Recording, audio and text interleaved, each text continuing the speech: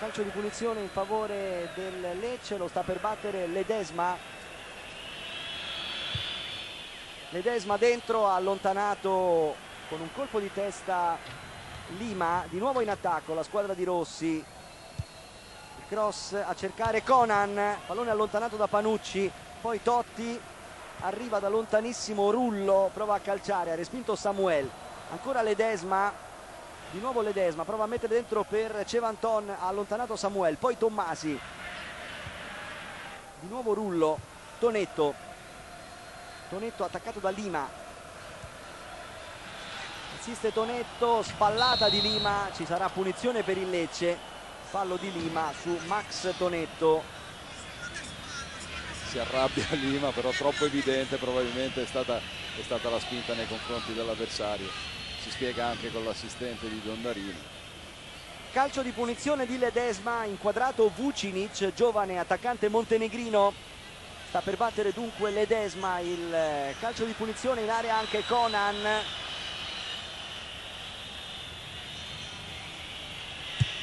Batte basso e poi c'è la conclusione ah, con palla che termina in rete.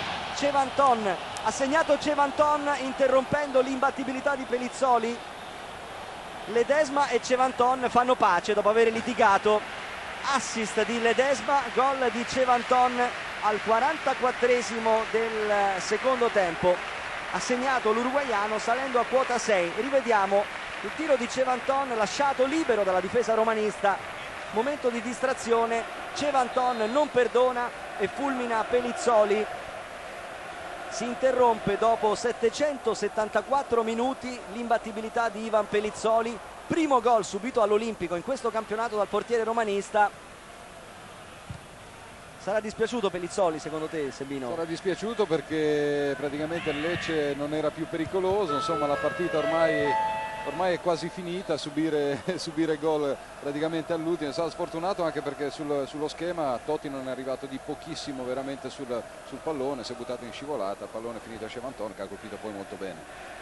Roma 3, Lecce 1 è davvero un, uno dei migliori attaccanti del campionato, Ernesto Javier Cevanton, salito a quota 6 in classifica marcatori, classe 1980 l'uruguaiano è seguito da molte squadre da molte società importanti è riuscito a segnare all'Olimpico mentre sta per entrare Gaetano D'Agostino.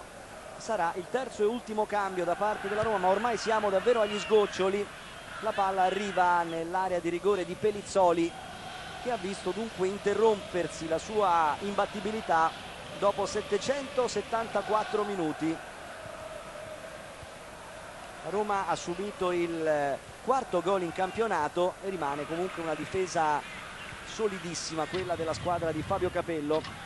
3 a 1 il punteggio dunque dopo i gol di Mansini, Cheriu e Totti. È arrivato quello di Cevanton